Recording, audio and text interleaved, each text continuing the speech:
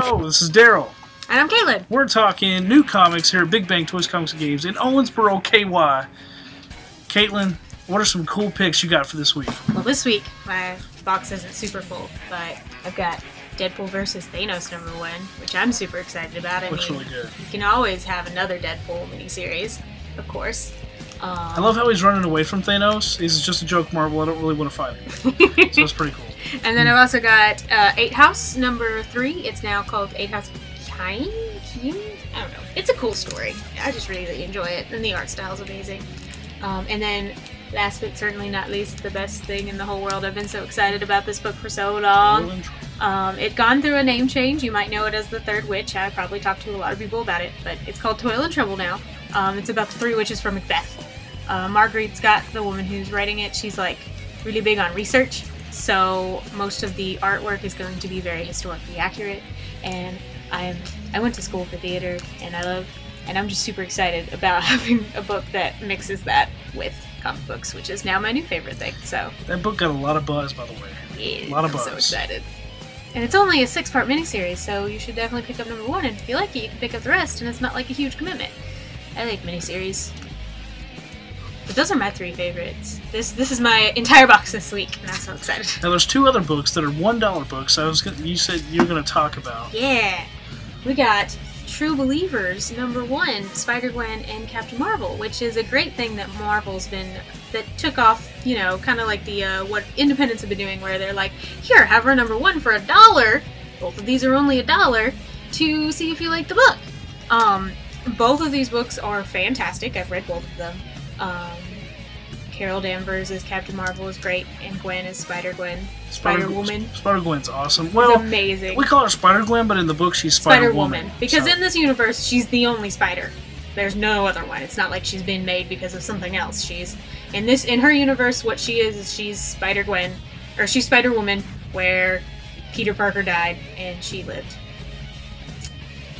But yeah, so if you have ever wanted to read either of these, we now have these for number one and for a dollar. So you should definitely pick them up because they're great stories. Can't beat it. Nope. My pick of the week is Dying and the Dead from Jonathan Hickman. You might know him from a little book called Secret Wars, but tons of other independent stuff. Dying and the Dead, you like Indiana Jones, kind of meets X Files, kind of meets. I don't know. It's just a really cool book. It's really late, but I've been waiting for number three. Check it out. Dying and the Dead, number three by Jonathan Hickman. That's all I got for independence this week, Caitlin. No, I should have more than that. Oh, it's right there. It's just waiting to be spoken about. Anyway, yeah, that's uh, go go get Toil and Trouble. We don't have very many copies left because we've been telling everybody to read it, but you should come get a copy or come order a copy if we're out when you get here. Get Toil and Trouble.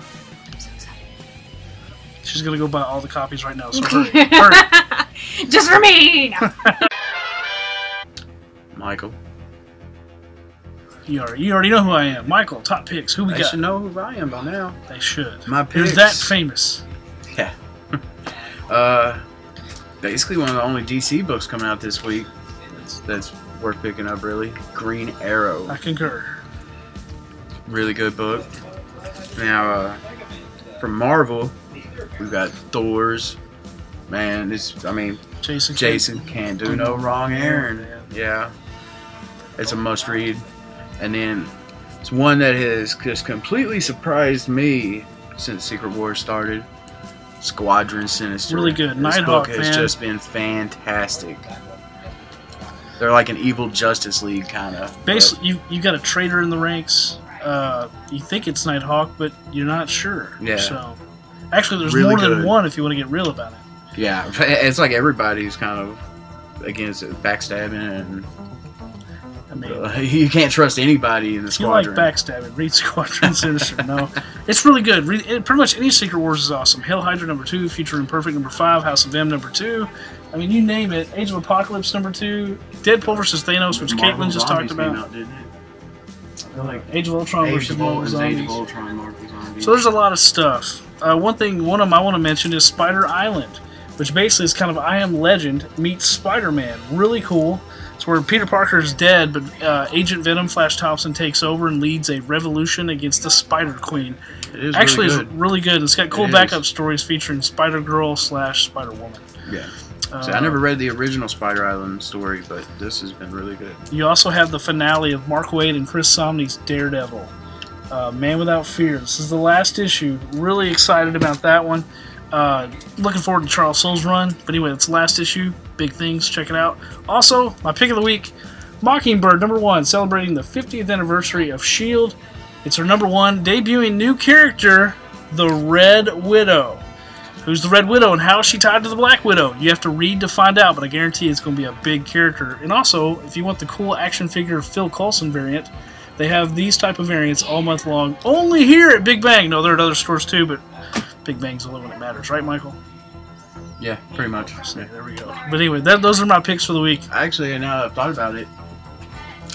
Jeff Lemire's Plutona. Jeff Lemire. I mean, Jeff Lemire. Jeff Lemire. So I'm definitely picking this up. Stand by Me meets superheroes. Jeff Check- Jeff Lemire just makes it.